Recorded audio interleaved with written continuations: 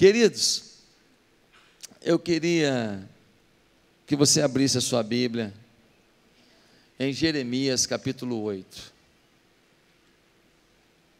Jeremias capítulo 8. Nós vamos ler a partir do verso 4. Jeremias 8, a partir do verso 4. Amém? Me acompanha aí, diz assim a palavra bendita do Senhor: o pecado do povo e o seu castigo. Diga a eles, assim diz o Senhor: quando os homens caem, não se levantam mais? Quando alguém se desvia do caminho, não retorna a ele? Por que será então que este povo se desviou? Por que Jerusalém persiste em desviar-se? Eles apegam-se ao engano e recusam-se a voltar.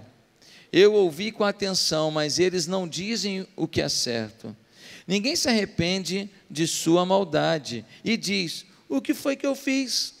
Cada um se desvia e segue seu próprio curso, como um cavalo que se lança com ímpeto na batalha. Até a cegonha no céu conhece as estações que lhe estão determinadas, e a pomba, a andorinha e o tordo observam a época de sua migração. Mas o meu povo não conhece as exigências do Senhor. Como vocês podem dizer, somos sábios, pois temos a lei do Senhor, quando na verdade a pena mentirosa dos escribas a transformou em mentira?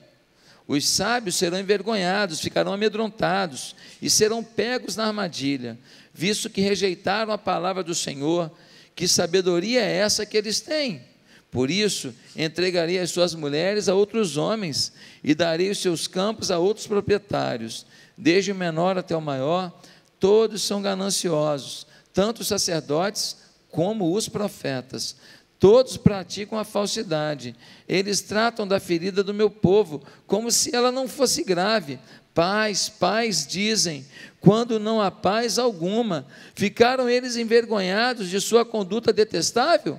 Não, eles não sentem vergonha, nem mesmo sabem orar. Portanto, cairão entre os que caem. Serão humilhados quando eu os castigar, declara o Senhor.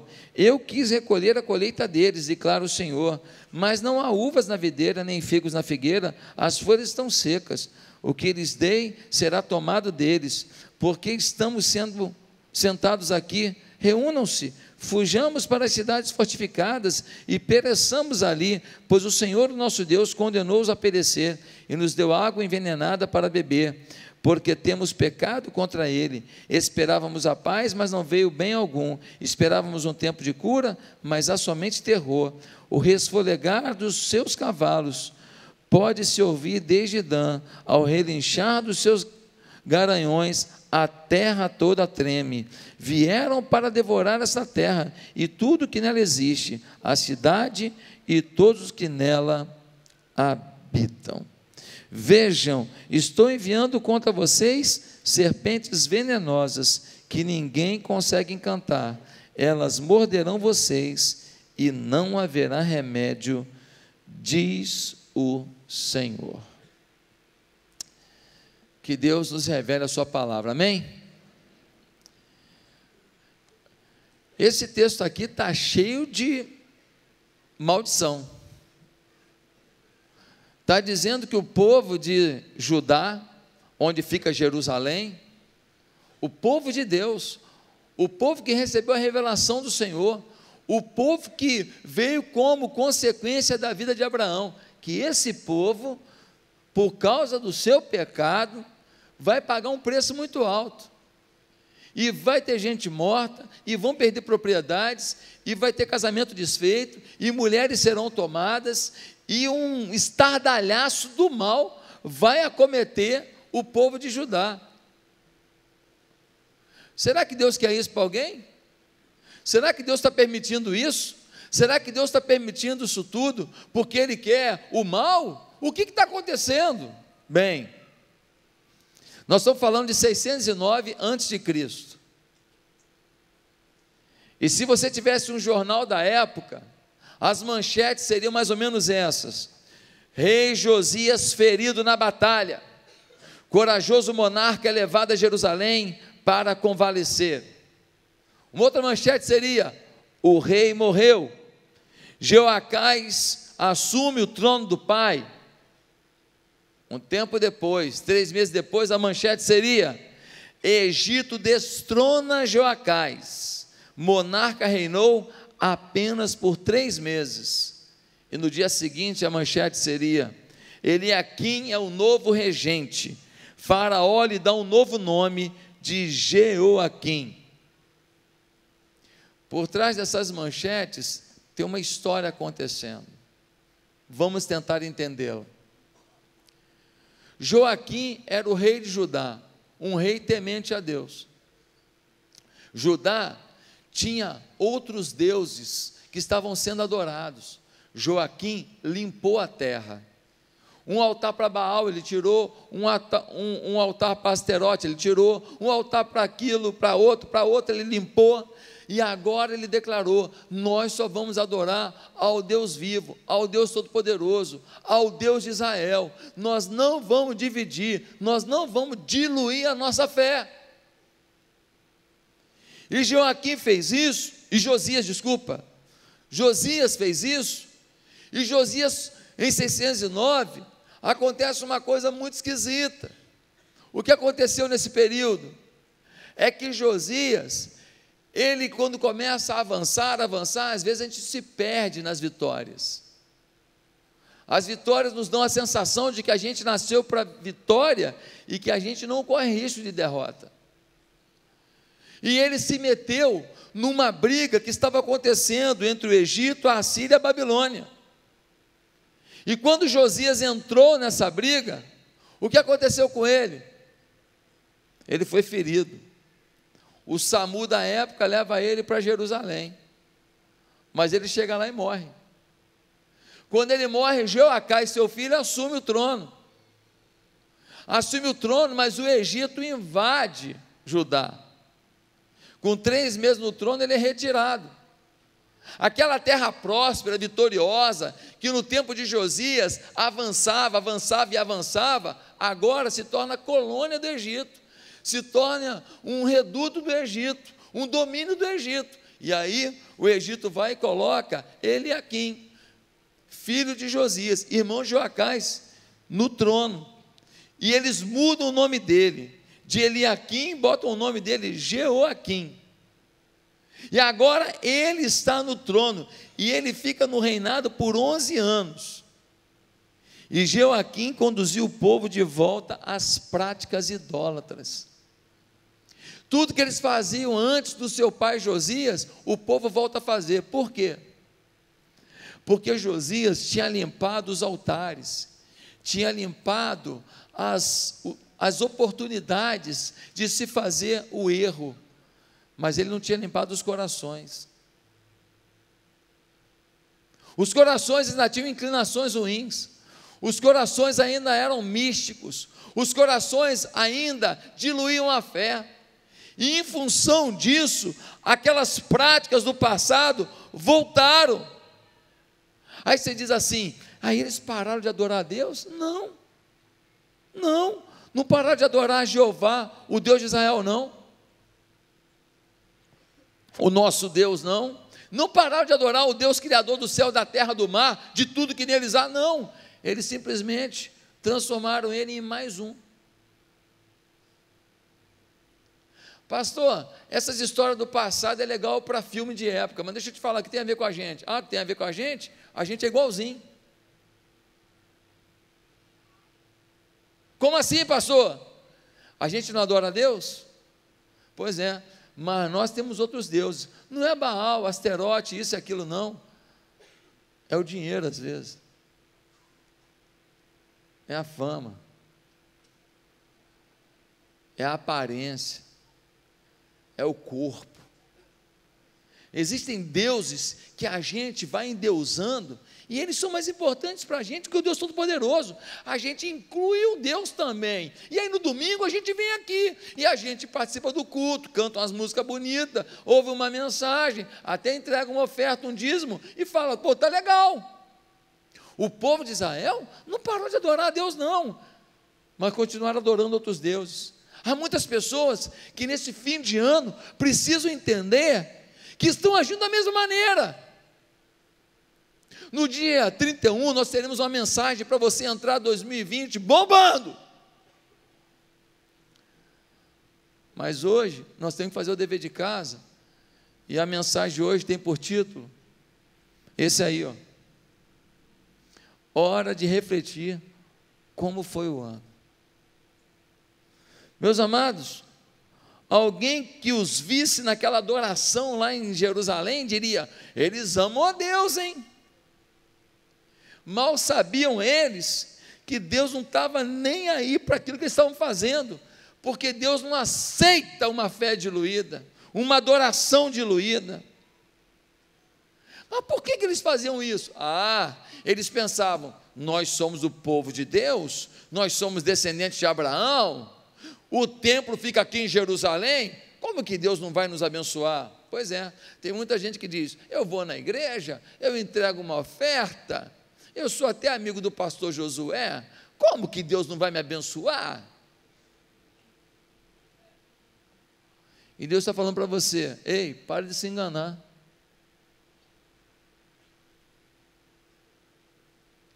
Pare de se enganar.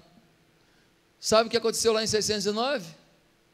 Deus mandou Jeremias ir no templo. Falou: Jeremias, esse povo está longe de mim, vai pagar o preço alto a chapa vai esquentar, sofrimento vai chegar, eles vão perder terra, eles vão perder família, vai gente morrer, porque se distanciaram de mim e a consequência será grande. E Jeremias foi para o templo e pregou um sermão que muita gente não quis ouvir.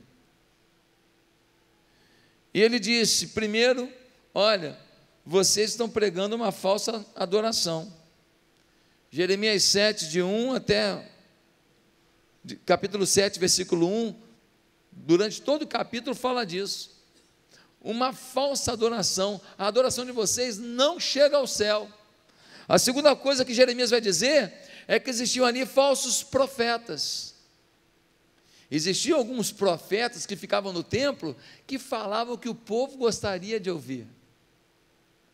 Olha, vocês serão abençoados, vocês vão conquistar, vocês são campeões, vocês são cabeça, vocês não são cauda, não.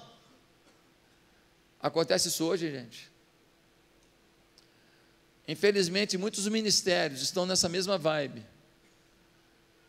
Não falam de pecado, não falam de transformação. Falam da vitória. Falam que você é bendito falam que Deus tem promessa na tua vida. Tudo isso é verdade, mas toda promessa tem uma condição. Ei, uma teologia que ignora a santidade não é teologia. Um púlpito que só fala de promessa, mas não fala de deixar pecado, não fala de santidade, esse púlpito está corrompido, não é um púlpito de Deus, portanto, é de Satanás. Pastor, que é isso, pastor? De, sim, de Satanás, porque o povo fica com a sensação de vitória, que nem esse povo estava. Deus revoltado com o povo, e o povo lá adorando no templo, e vivendo uma vida torta, adorando outros deuses, e achando que estava abafando. E aí, vai morrer, vai perder, vai sucumbir, e nem vai ter a chance de pedir perdão antes disso acontecer. Por quê? Porque os falsos profetas falaram o que eles queriam ouvir. Jeremias fala mais uma coisa. Ele fala que eles estão adorando falsos deuses e estão ferindo a aliança com Deus. Ah, queridos, pensa num sermão forte. No meio disso tudo, ameaça de perda de tanta coisa, uma confusão tremenda. No versículo 6, o povo fala um negócio interessante. Câmeras em mim. Eles dizem assim: o que, que eu fiz? Pensa num negócio que irrita, é quando a pessoa faz um monte de droga, e tu fala com ela, pô, você vacilou. Ele, o que, que eu fiz?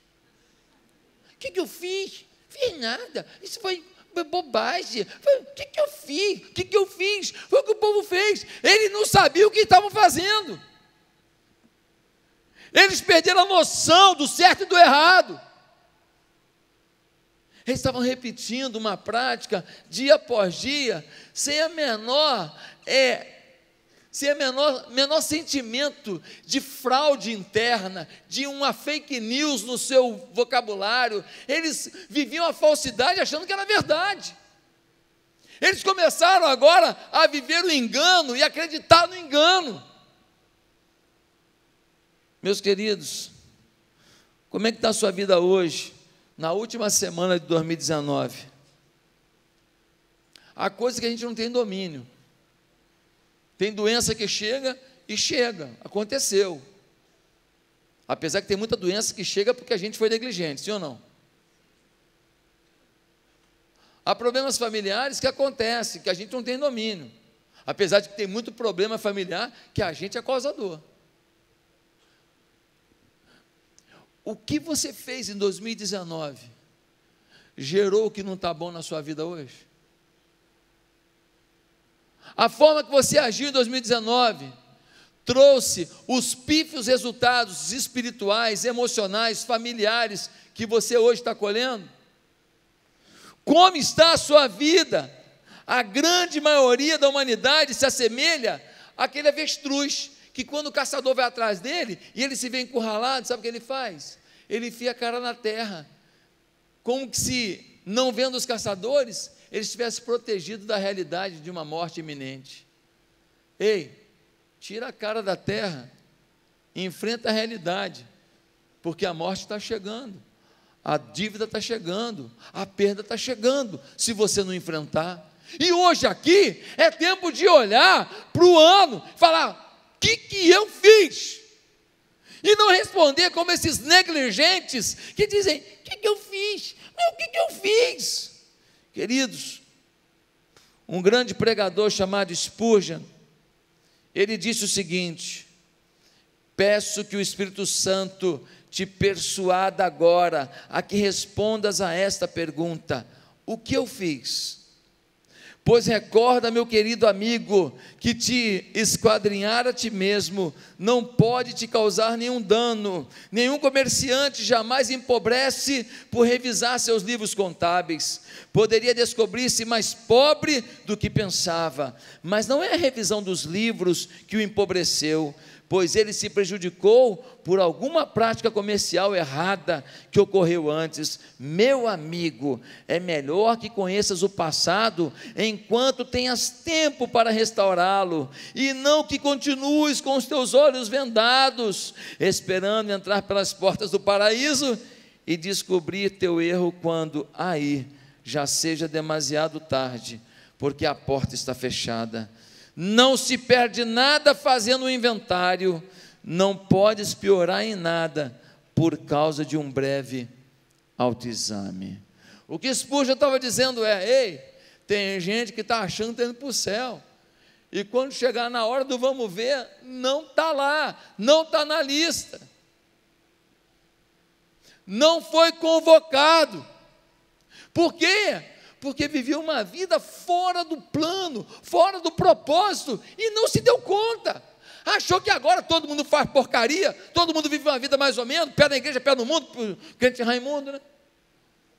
Então, eu vou viver assim também. Ei, Deus não está procurando quem vai na onda. Quem vai na onda é peixe, amigo. Peixe morto. Peixe vivo fura a onda. Você precisa entender que hoje nós precisamos responder a seguinte pergunta: O que, que eu fiz em 2019? O que, que atrapalha a gente de responder a essa pergunta? O que impede a gente de perceber a realidade da vida que a gente está levando? Quatro coisas. Primeiro, Nós não percebemos e não conseguimos responder o que fazemos quando somos traídos por nossas vitimizações. O que é isso, pastor? O povo de Judá teria muitas desculpas para o que faziam. Ah, a gente está fazendo o que todo mundo faz. Ah, a gente está fazendo o que a gente achou que o Senhor não ia se importar. A gente adora muito mais a Deus, o templo é de Jeová, mas a gente tem um altarzinho só para outros deuses, é bobagem, é uma coisinha na vida, a gente nem achou que o Senhor, o senhor ia dar esse valor todo, aliás, eu acho até que o Senhor está se apequenando, se comparando com eles.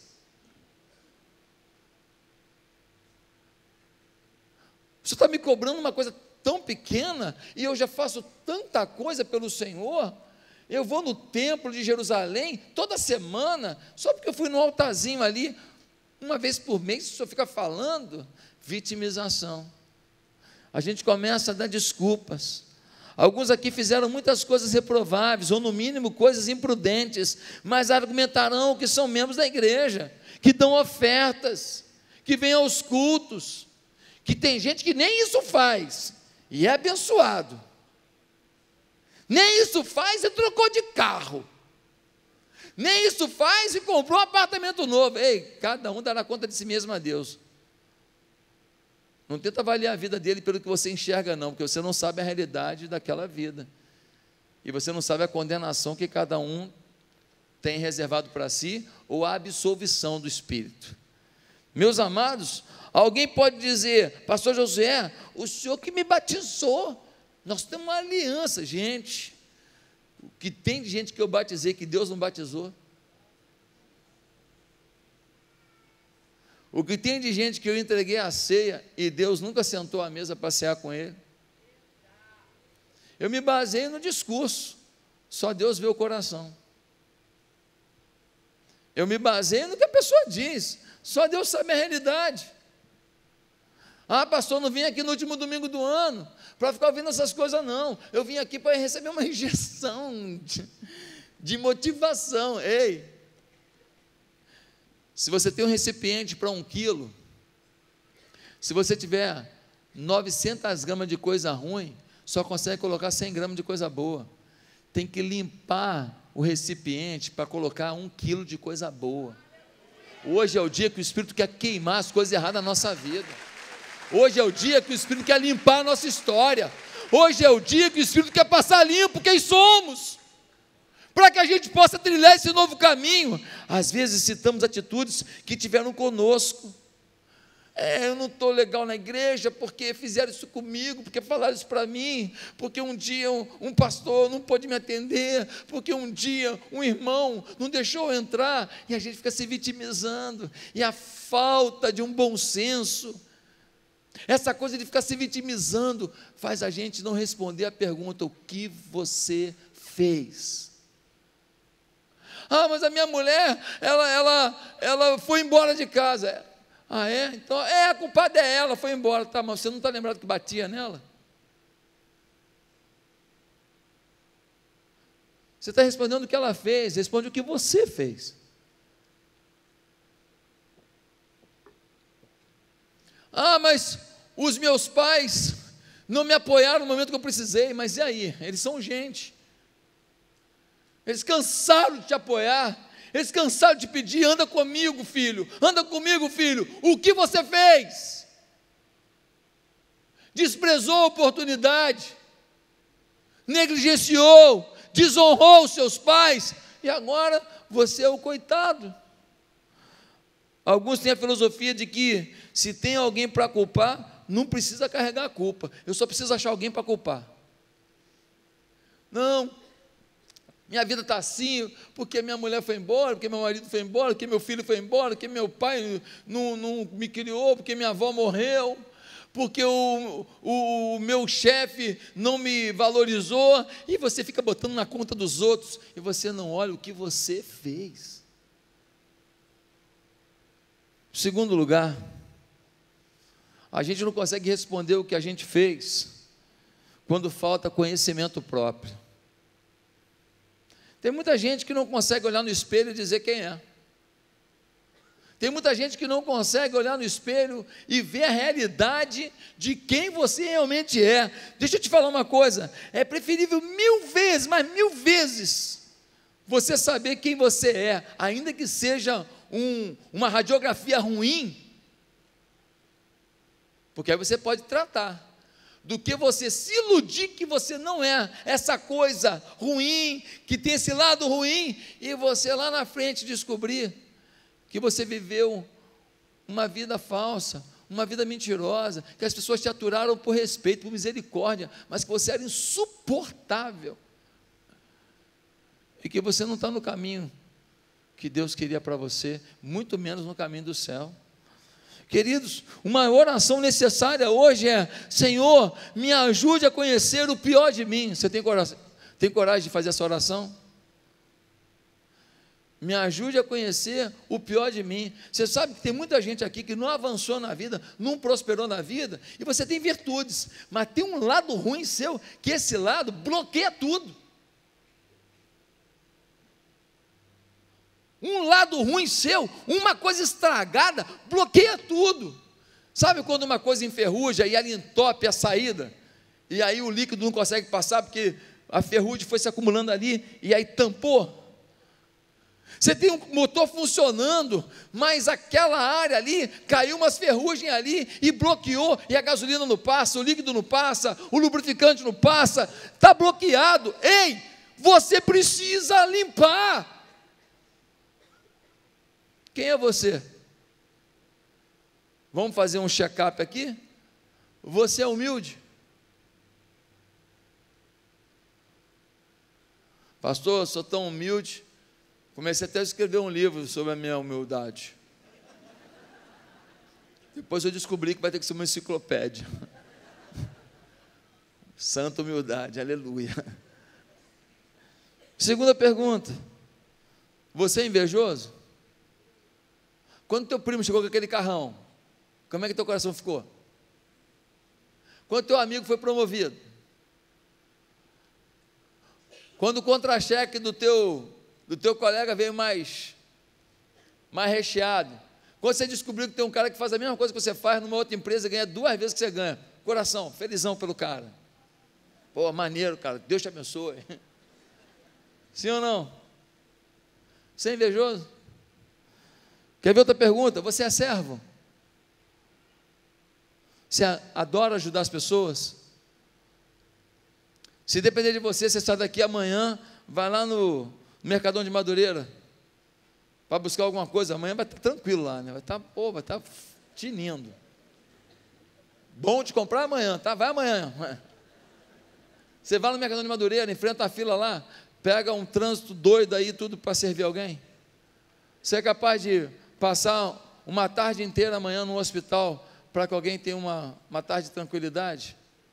Uma família tenha uma tarde de tranquilidade? Você é servo ou você só gosta de ser servido? Quer ver outra pergunta boa? Você ama Deus de verdade? Ama mesmo? Porque tem muita gente que não ama Deus e muito menos a igreja. Qualquer coisinha ele está chateadinho com a igreja. Qualquer coisinha ele está criticando a igreja. Qualquer coisinha está falando bobagem. Ele ama ele mesmo. Se a igreja atende a ele, a igreja é boa. Se não atende a ele, a igreja não é boa. Ou seja, o centro do mundo é ele. E o seu lindo umbigo. Quando ele morrer, pegaremos esse umbigo. Vamos é empalhar que fala? Vamos empalhar esse umbigo e fazer um monumento ao grande umbigão. ah, meus amados irmãos, uma boa pergunta. Ó, pega essa aí agora. Ó, quem está com a esposa do lado agora, prepara para a cotovelada. Você pede perdão? Hoje meu irmão saiu com três costelas quebradas. Nessa hora a mulher, puf. Você pede perdão? Sempre ela que pede. Sempre ele que pede. Você não. Tem um pessoal que tem essa mania, né? Não, é, eu, eu, eu, eu não toco mais no assunto, deixa para lá. Vamos colocar no esquecimento. Ajudaria tanto o pedido de perdão. Outra pergunta: você sabe perdoar? fiz, fez uma coisa com você, você não perdoa. O que acontece? Você carrega uma bolsa de chumbo nas costas. A falta de perdão é uma bolsa de chumbo. Andar com a bolsa de chumbo nas costas é brabo, hein? Correr, pior ainda, voar, impossível. Queridos, ainda que você tenha pretendido orar, você orou esse ano? Claro que eu orei, pastor, orei. Não, eu estou falando orar, falando orar. Eu estou falando de desligar celular, eu estou falando de desligar telefone, é, é, é, WhatsApp, eu estou falando, fala, Deus, eu estou aqui para conversar contigo, orar, você e Deus, assim, relacionamento, orou, você orou esse ano? É, três vezes eu fiz isso, é, pô, tirou onda. Deixa eu te perguntar uma coisa, você leu Bíblia esse ano? Eu não estou perguntando se você fez uma leitura, não, pastor, Pô, estou com a técnica aí de leitura dinâmica, eu leio na diagonal. Pastor, em dois minutos eu leio o Novo Testamento todo. Tem uma técnica dessa, não tem que vai lendo assim. Hum. A Bíblia é para ser meditada. Ou seja, poxa, esse texto aqui, o que tinha a ver para o pessoal da época? O que tem a ver com a minha vida? Quais são as promessas que estão nesse texto para a minha vida? E quais são as obrigações que esse texto traz para a minha vida? Isso é meditar. Isso é revelação. Isso é retirar do texto que o Espírito quer dizer ao coração. Agora que a leitura, pá, pá, pá, já li, opa, já fiz o meu devocional. Eu prefiro que você leia um versículo com o coração em meditação do que você ler um capítulo inteiro só para cumprir tabela. Você precisa entender isso. Queridos, quantas pessoas que tiveram iniquidades que você armazenou na sua vida, alguns têm problema de pornografia, e você continua com esse vício, e você não está fazendo o caminho para se libertar dele. Você precisa ter um conhecimento próprio. Quem é você? Tem uma terceira coisa que faz a gente não responder o que a gente fez. É a falta de reflexão sobre os rumos que tomamos. Uma coisa é quem você é, outra coisa são as decisões que você toma em função do que você é. Quem está entendendo? Você é uma pessoa, às vezes, meio vaidosa, uma pessoa meio, meio fofoqueira, No dia do seu enterro, vai ter um caixão para você, outro para a língua. Talvez o caixão da língua seja maior. É, é. Isso é o que você está sendo. Outra coisa é que você faz com o que você está sendo. Quem está me entendendo, gente? Tua família está com problema, com dificuldade. O que você fez? Não faz que nem o povo de Israel, não. Todo ferrado, todo lambrecado, cheio de iniquidade, adorando a Deus os pagãos. O que, que eu fiz? O que, que eu fiz? Você tem que saber o que você fez. Você semeou coisas boas e provavelmente está no caminho de colher coisas boas, mas se você semeou coisas ruins, você precisa eliminar essas coisas, porque 2020 é o ano da tua vida é o ano da tua vida, e nós precisamos limpar a casa, para que Deus sente na sala, converse conosco e diga: olha, a partir de agora é assim. Ah, meus amados irmãos, às vezes você tomou decisões profissionais, você não consultou ninguém, você foi arrogante. A família está pagando um preço. É hora de pedir perdão à família. E na próxima tacada empresarial, ouvir pessoas, conversar, dialogar, pesquisar, ir no Sebrae, ir nas fontes, ir na internet, procurar informações. Alguns aqui estão reclamando que os filhos estão bebendo muito, aprendeu contigo. Você não precisa ensinar para o filho querer beber, não, porque no mundo tem um monte de gente para ensinar, mas às vezes aprendeu em casa. Tua geladeira é cheia de cerveja. Ah, mas eu sei beber. Sim, você sabe beber, mas teu filho não sabe. Mas ele aprendeu lá em casa. que, que você fez? Você legalizou certas coisas em casa. Ah, pastor, o senhor está sendo muito radical. Não, estou sendo radical, não. Se não quiser receber isso, não recebe, não. Continua dizendo: o que, que eu fiz? Continua culpando o mundo. Culpa a Brahma. Culpa o Zeca Pagodinho. Que a propaganda dele é engraçada e o pessoal bebe. Ah, por favor, gente. Deixa eu te perguntar uma coisa. Quantas vezes você falou mal de pessoas da igreja na sua casa? Tem filho que não volta aqui porque você disse que o povo daqui não prestava. Não, eu só falei de uma pessoa. Pois é, ele pegou esse um, transformou em algo genérico. Rapaz, lembra daquela nova convertida que você namorou? Cadê ela? Ah, ela não está mais aqui não? Como é que foi o namoro? Ah, eu tentei passar a mão dela logo no primeiro dia e chamei ela para o motel e ela foi. Ah, e aí? É, e aí que a gente se relacionou e a gente viveu um namoro como o mundo vive. Legal. E a, cadê ela? Está no mundo.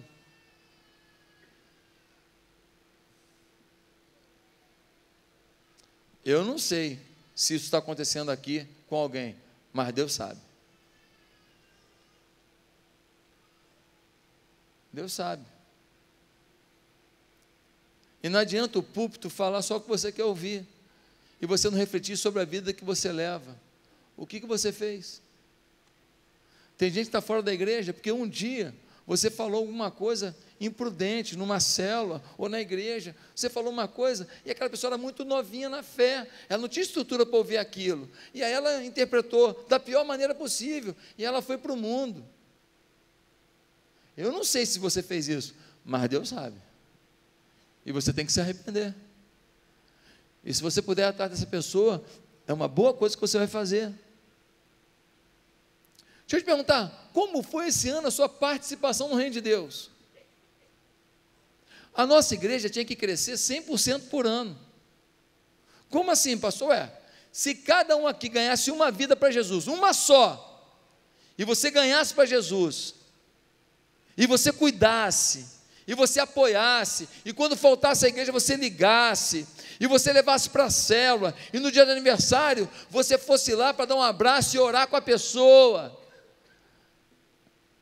Cada um aqui ganharia um só.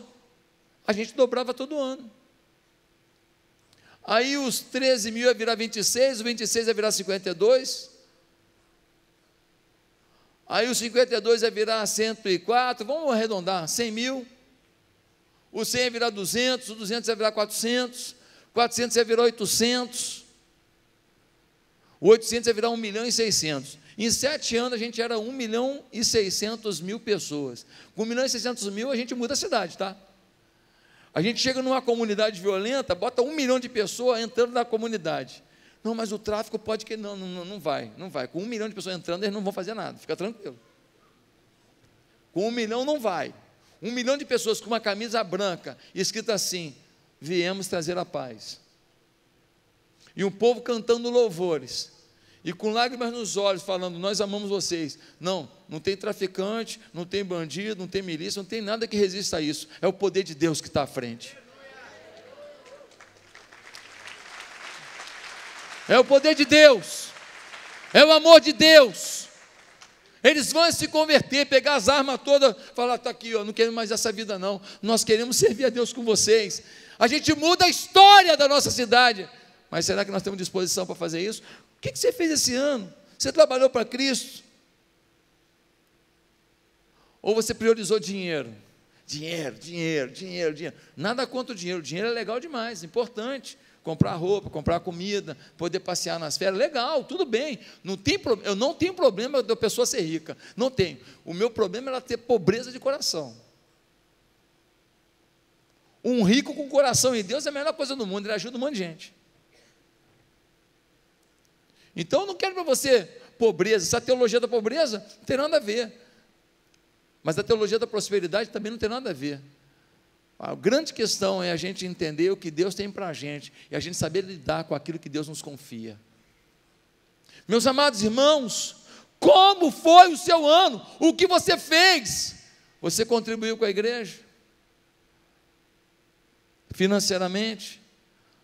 Você ajudou alguém?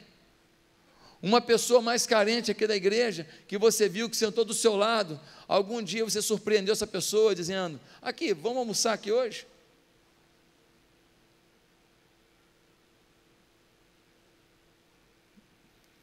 Em quarto lugar e último, o que nos impede da gente responder a pergunta: o que eu fiz? É a falta de conhecimento da vontade de Deus. O povo de Judá já não sabia mais o que Deus queria, o que Deus determinou, já não sabia mais o que as Escrituras diziam. No texto que a gente leu, diz assim: vocês ignoravam ignoraram a palavra de Deus. Ah, pastor, mas algumas coisas estão ultrapassadas. Ah, sim. A área que você quer pecar está ultrapassada. Se o teu problema é sexo, sexo fora do casamento, Está ultrapassado isso na Bíblia. Se o teu problema é bebida, está ultrapassado na Bíblia. Se o teu problema é vaidade, está ultrapassado isso na Bíblia. Se o teu problema são os seus negócios fraudulentos, então está ultrapassado na Bíblia o que diz que você deve ser justo, correto em cada centavo da sua história. A gente negligencia o que não nos interessa e a gente pega na Bíblia o que nos permite acusar o outro. Meu Deus. A gente tem uma Bíblia para a gente e uma para os outros. Sabia disso, pastor Caio? A Bíblia para a gente é a Bíblia do conforto. A Bíblia para os outros é a Bíblia do confronto. Tudo começa com C. Um é conforto, o outro é confronto. Queridos, quero deixar uma indagação à tua própria consciência. Jesus fez tudo para te salvar, morreu numa cruz, foi esmagado em teu lugar. Ele merece tua consideração? Ele merece o teu apreço? Ele merece a tua dedicação? Ele merece o teu respeito? Jesus veio ao mundo, padeceu tudo isso, foi em vão para você? Ou você reconhece que Ele é o Senhor da glória, Ele é o Rei dos Reis, Ele demonstrou um amor incalculável por você, Ele foi à cruz em teu lugar, quando o sangue dele foi derramado, era o teu que tinha que pingar. Porque o salário do pecado é a morte. Mas ele foi à cruz, sendo puro, sem pecado, morreu no teu lugar e disse ao Pai: Pai, eu paguei pelo pecado deles. Quando eles receberem a mim em seus corações, então eles receberão o passaporte para o céu, eles receberão a isenção dos impostos do pecado, eles estarão agora na promessa da vida eterna. Se Deus fez isso por você, o que Ele merece da sua parte? Falta conhecimento. No Oriente, na época dos patriarcas, uma mulher que não gerasse filho era considerada amaldiçoada, pois hoje, na igreja, os crentes não produzem ninguém, não ganham ninguém para Cristo e acham normal. O princípio de esterilidade espiritual está conosco. Tiago diz: devemos não ser apenas ouvintes, mas cumpridores da palavra. Deixa eu te falar uma coisa. Pode vir para o teclado. No ano passado, teve um rapaz na nossa igreja que participou do musical de Natal.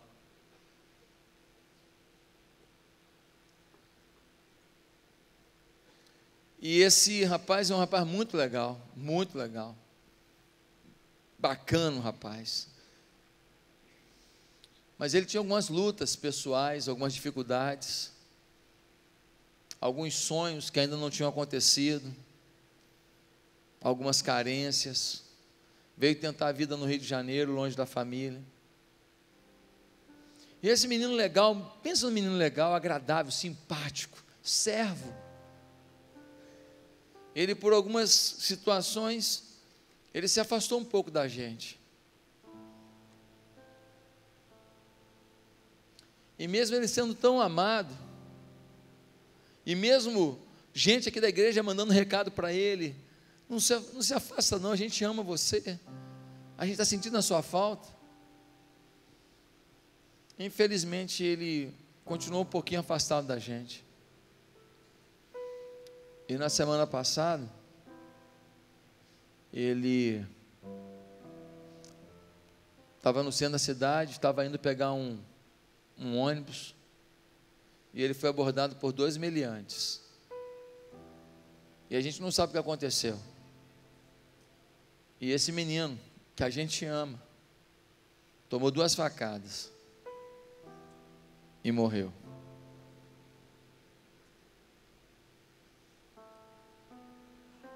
Podia ser meu filho. Podia ser teu filho.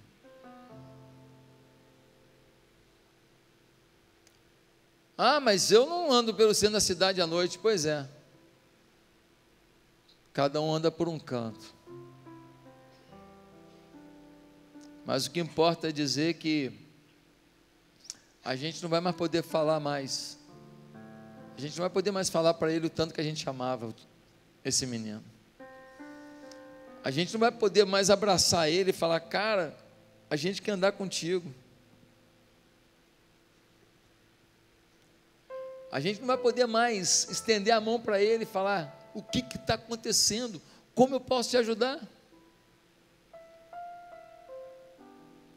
A gente precisa hoje responder o que, que eu fiz. Porque se você não souber o que você fez, você não está preparado para em 2020 fazer o melhor ano da sua vida. Semana passada, duas semanas atrás, uma irmã ali na porta falando comigo, na alegria, pastor, essa família aqui eu trouxe para a igreja, eles aceitaram Jesus, pastor, eles vão batizar, eles estão empolgados, tinha que ver o brilho no olhar dela, a alegria dela, porque ela descobriu a essência da vida, a essência da vida é servir a Deus, Servir a Deus traz uma alegria que dinheiro não traz. Aliás, os ricos e famosos da televisão provam para a gente isso. Vivem drogados, prostituídos, trocando de casamento o tempo inteiro, uma vida doida, louca. Sim ou não? Nós precisamos entender que é em Deus que nós encontramos o nosso refúgio. E ela estava alegre, porque ela foi instrumento para uma família inteira estar aos pés do Senhor. Que alegria que ela estava. Você teve essa alegria esse ano? Ou não teve? Qual a vontade de Deus para a sua vida? Qual é o propósito de Deus na sua vida? Nós não vamos responder o que a gente fez se a gente não buscar a palavra de Deus e procurar vivê-la, gente. Eu quero concluir perguntando a você: Não é assustador que esse ano quase tenha terminado e tem gente aqui que está vindo à igreja há um tempão, já ouviu mensagens, canções, orações aqui, e até hoje você não tomou a decisão por Jesus? Não é assustador que você ainda está querendo negociar entre Deus e o mundo para ver com quem você fica? Não é assustador que você ainda frequente a igreja, venha nesse lugar, e Deus fala com você, e você se alimenta do que Ele fala hoje, mas você deixa segunda, terça, quarta, quinta, sexta, sábado, roubar tudo que Deus te disse. Aí domingo você vem de novo, recebe uma palavra, se alimenta e depois bota tudo fora. E você não tomou uma posição de se alimentar e falar, agora eu me alimento segunda até sábado também, não é só domingo aqui na igreja, não. Porque eu quero viver uma vida em Deus. Você vai estar 2020 longe do Senhor, sem uma definição. Eu quero que você não faça isso. Eu quero que hoje você tome uma, posição com Deus. Quero que hoje você se renda ao Senhor. Deus não tem interesse nenhum no fracasso da gente. Esse povo estava aqui com as palavras de maldição, porque eles quiseram o afastamento do eterno. Deus tem um prazer incrível de te ver se superando. Deus tem um prazer incrível de ver você numa situação assim, apertada de conflito, e você não se entrega, e quando você dá a volta por cima, por cima, você diz: A Deus toda a honra e toda a glória.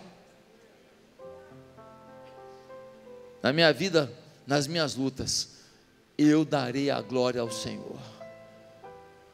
Na sua vida, nas suas lutas, declare hoje: Eu darei a glória ao Senhor.